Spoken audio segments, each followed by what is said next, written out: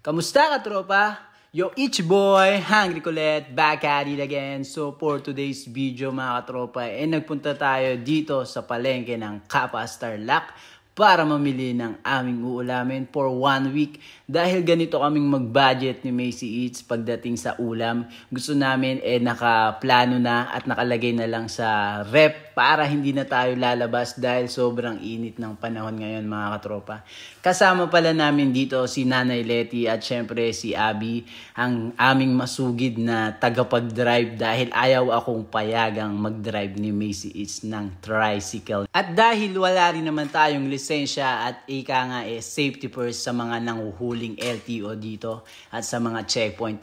Ito ang nakakamiss dito sa Pilipinas pag namimili ka mga katropa dahil fresh mong mapipili ang mga isda, manok at mga baboy.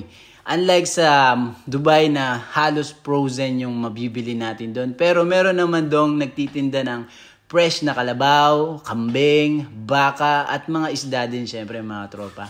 Pero yung lasa talaga ng baboy na hinahanap mo eh nandito lang talaga yun sa Pilipinas mga tropa. At dito nga mga tropa ay eh, napagdesisyonan na ni Macy Eats ang aming uulamin. Walang iba ang kilayin kapangpangan. Sabi pinila, basta kapangpangan, manyaman ing pamangan. At pagpasensyahan nyo na mga katropa ang aking pagkakapangpangan dahil hindi po talaga ako kapangpangan, kundi si Macy Eats po ang purong kapangpangan sa aming dalawa.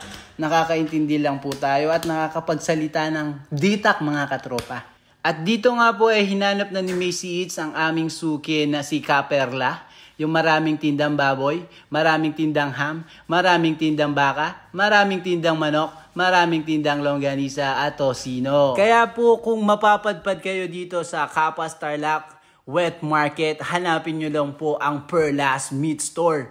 Dahil marami dito talagang mapagpipilian na fresh na pamangan mga katropa. At ay ni na po mga katropa, sinali na po Macy is ning paborito ng batal manok. Bakan tatin niyang pulutan po pag mix keng alak. Magtagalog na ako po, magkasakit na ako po kasi mga katropa. So eto nga naghanap din siya dito na ng pabalat Shanghai dahil bisaya rin pong mga Shanghai ingasawa ko mga katropa. At any po lilibot siya pa bisaya pong merienda. Ay ni, Higit na rin kalame. Sinali na rin pong tamalis ng asawa ko dahil favorite niya rin po ito mga katropa. At syempre po, alam naman ni Macy's kung ano yung lagi kong binibili dito sa kay kuya. Walang iba kundi ang palabok nila mga katropa.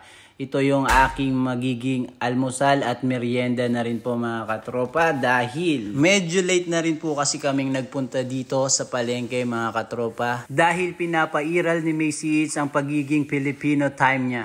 Kaya yon late na kaming nagising, late na rin kaming nakapunta dito sa palengke ng Kapas. At dito nga mga katropa, eh namimili din siya dito. Akala ko mag-chachap suisa. Ito pala yung magiging sahog ng ating pansit gisado mga katropa. Alam nyo naman, dadating na yung birthday ni Macy, kailangan niya ng handa. So magpapansit gisado siya at eto nakalimutan niya pa, bumalik pa siya para sa sibuyas, bawang, kalamansi mga katropa. At shoutout na rin po sa lahat ng nagpapa-shoutout. Thank you for watching. I'm Hungry Colette and this is my life. Make life great. Bye-bye.